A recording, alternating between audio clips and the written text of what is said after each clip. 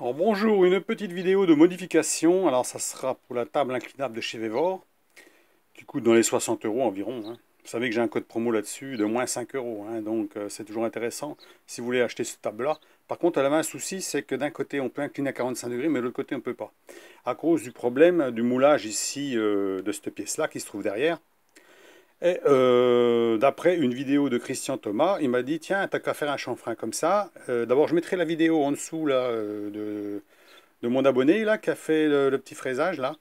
Et donc, moi je l'ai fait aussi, mais alors j'ai fait d'une autre manière, parce que moi j'ai pas voulu incliner la, tête de la fraiseuse, malgré que je peux le faire, parce que j'ai pas voulu la dérégler, déjà dans, une, un premier temps.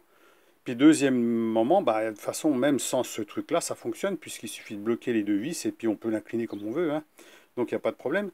Euh, donc on peut s'en servir pour faire euh, le fraisage, hein, bien entendu. Il suffit de caler ça là-dessus, hein, avec deux lardons, puis voilà. Donc, euh, et puis pour une deuxième raison, c'est qu'en fait, tout le monde n'a pas une fraiseuse inclinable, hein, et non, pas non plus de détaux inclinables.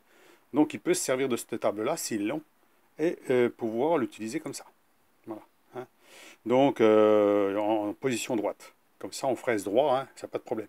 Alors moi, j'ai repéré avant, bien sûr, hein, j'ai mis un coup de feutre tout autour pour voir à quelle profondeur faut que j'aille.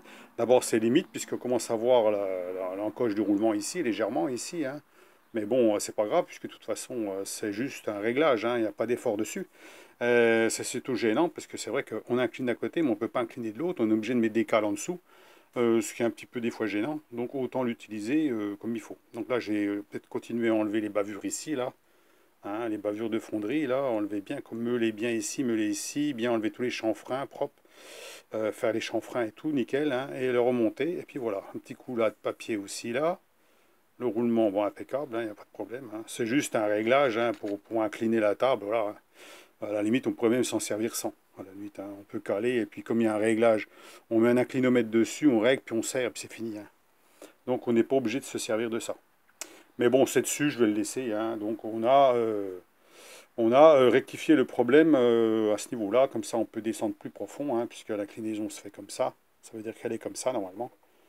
Donc là, on arrive à un, niveau quand même assez important d'inclinaison. hein. Voilà. Donc, eh ben, je vous laisse sur cette vidéo. Donc, je mets le lien de la personne qui a trouvé le truc. et puis, comme ça, ben, vous verrez. Lui, il l'a fait en inclinant sa tête. Moi, je l'ai fait euh, en, prenant la table d'origine et je l'ai mis comme ça, tout simplement. Hein, alors, je suis peut-être pas parfait hein, au niveau de l'angle, hein, mais bon, euh, je pense que ça doit y aller. je vais faire un essai, mais ça doit y aller.